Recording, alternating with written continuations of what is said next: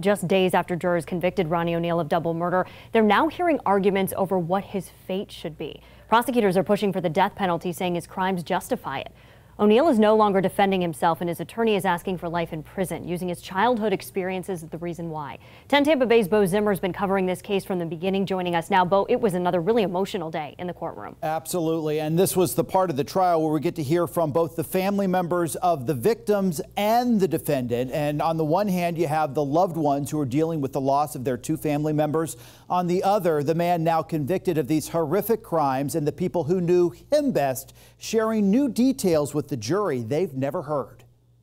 The punishment for this crime is either life imprisonment without the possibility of parole or death. The ultimate decision for 12 jurors who already endured more than a week of graphic and often hard to listen to testimony in the Ronnie O'Neal double murder trial. The evidence in this penalty phase will show you beyond any doubt that Kenyatta Barron suffered those very strong emotions of fear and horror. Prosecutors pushing for that death penalty had medical experts testify what the victims went through on the night of their deaths. I could only characterize it as um, marked or severe Severe pain? Yes. But then it was the defense team's turn. Public defenders taking center stage after O'Neal spent more than a week defending himself. Wednesday, they presented the jury with all new claims, including that O'Neal himself was the victim of sexual abuse. You're going to hear that when Mr. O'Neal was just five years old,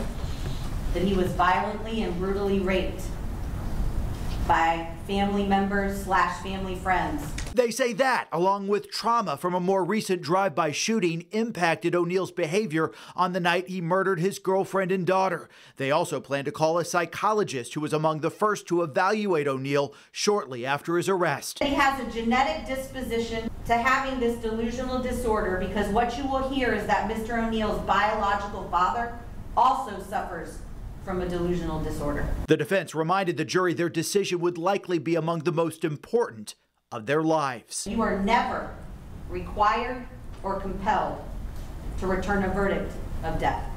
Never.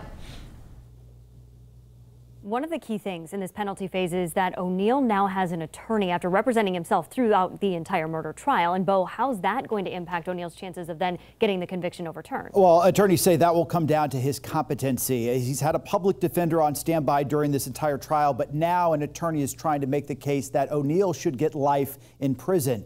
To get a deeper dive, we asked criminal defense attorney and former Pinellas County prosecutor Roham Kansari if that change would have any bearing on a possible appeal.